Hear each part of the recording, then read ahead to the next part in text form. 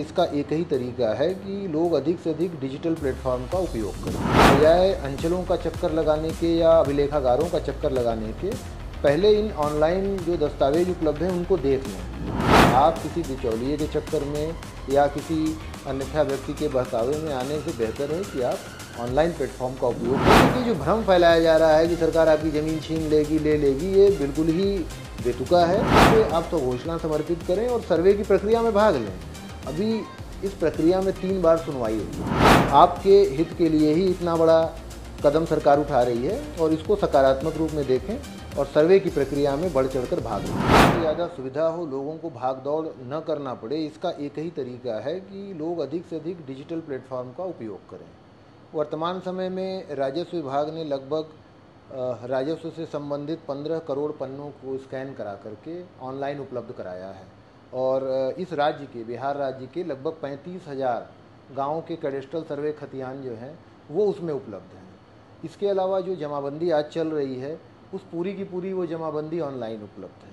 तो उसमें लोगों को यह करना होगा कि वे बजाय अंचलों का चक्कर लगाने के या अभिलेखागारों का चक्कर लगाने के, पहले इन ऑनलाइन जो दस्तावेज़ उपलब्ध हैं, उनको देख लें। मुझे लगता है कि 80 से 90 प्रतिशत मामलों में लोगों को दस्तावेज़ यहाँ पे मिल जाएँगे। जैसे इसी प्रकार जैसे निबंधन है। निबंधन के कागजात भी आजकल ऑनलाइन माध्यम से उपलब्ध हो जाते हैं। तो मैं बार बार लोगों से अपील करूँगा कि आप किसी बिचौलिए के चक्कर में या किसी अन्यथा व्यक्ति के बहकावे में आने से बेहतर है कि आप ऑनलाइन प्लेटफॉर्म का उपयोग करें और जो दस्तावेज़ ऑनलाइन उपलब्ध है उनको डाउनलोड करके प्रिंट करें और प्रिंट करके लगाएँ। उसको कहीं से सत्यापित कराने की कोई आवश्यकता नहीं जैसा कि जो सर्वेक्षण है, पैंतालीस हज़ार के लगभग गाँव में चल रहा है एक बहुत बड़ा मतलब उसको कहेंगे हरकुलियन टास्क है, इतना बड़ा जिससे पहले, काफ़ी लंबे अरसा पहले हुआ। तो किस तरह से की चुनौतियाँ आप देख रहे हैं ऐसे में जिस तरह से विवादित भूमि भी बहुत है?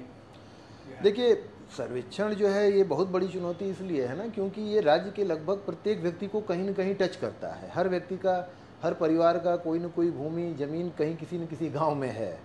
अब उसमें बहुत सारे लोगों के कागजात अद्यतन हैं, बहुत सारे लोगों के अद्यतन नहीं भी हैं। इसके अलावा बहुत सारे लोगों के अंदर जो परिवार है, उस परिवार में एक मत नहीं है लोग। उनके अंदर भी अलग अलग विचार हैं और उसमें, उनमें भी कोई समझौता नहीं रहता है। तो ये सब जो चीज़ें हैं, उसके कारण ये पूरा जो अभियान है, वो थोड़ा कठिन है।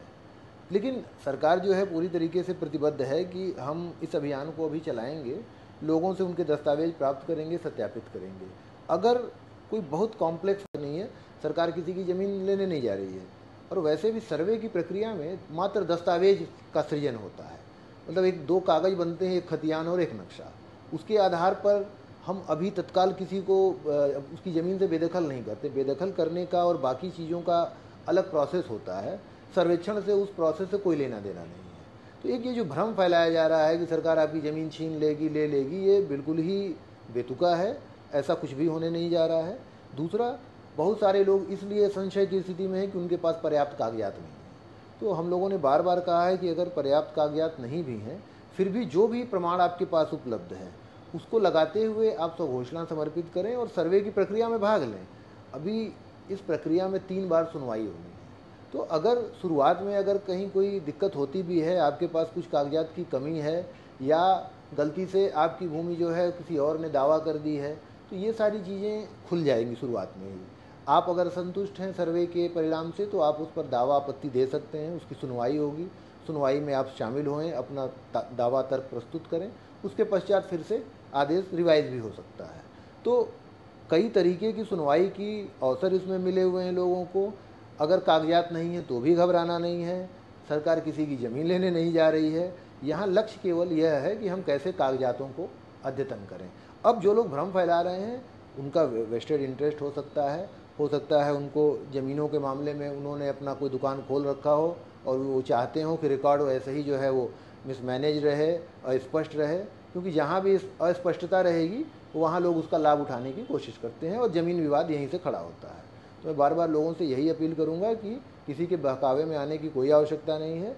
आपके हित के लिए ही इतना बड़ा कदम सरकार उठा रही है और इसको सकारात्मक रूप में देखें और सर्वे की प्रक्रिया में बढ़ चढ़कर भाग लें।